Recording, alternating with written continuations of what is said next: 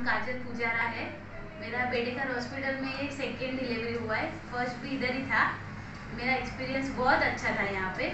मेरी दोनों delivery normally थी लेकिन स्टाफ ने बहुत मुझे अ, समझाया। मैं सीज़र के लिए बोल रही थी लेकिन स्टाफ ने मुझे बहुत समझाया नॉर्मल डिलीवरी के लिए। उसकी वजह से ही मेरी नॉर्मल डिलीवरी हुई वरना मेरा सीज़र ही होने वाला था। और स्टाफ बहुत अच्छा है केयरिंग है।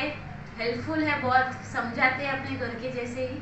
बहुत अच्छा स्टाफ है और डॉक्टर्स तो बहुत अच्छे सब doctors Anand sir, Mahesh sir, Priya doctor Pooja doctor Saili doctor सब बहुत अच्छे बहुत अच्छा लगा यहाँ पे आके। और मैं सब अपने रिलेटिव्स को बेडेकर ही सजेस्ट करती हूँ।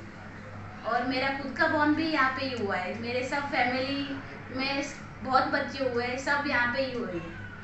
बहुत अच्छा लगा यहाँ पे आके। थैंक यू मेडिकल का एक्सपीरियंस हमारा बहुत अच्छा था। It is a very good journey I can say यहाँ पे सारे स्टाफ इतने हेल्पफुल हैं कि लाइक मेरी वाइफ को इतना सा भी कुछ भी प्रॉब्लम होता है तो सब साथ में खड़े हो जाते हैं हेल्प करने के लिए। सो so, इसीलिए ऐसा लगता नहीं है कि कभी यार हम कहीं और हम ऐसा लगता है घर पे ही है।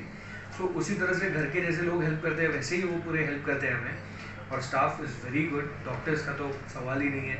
Best in class I can say so best of the experience both the time मेरी सेकेंड ऑर्डर के हिसाब से बोल सकता हूँ दोनों टाइम सुबह एक्सपीरियंस था.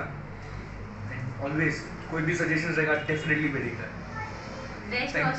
थाने थैंक यू सो मच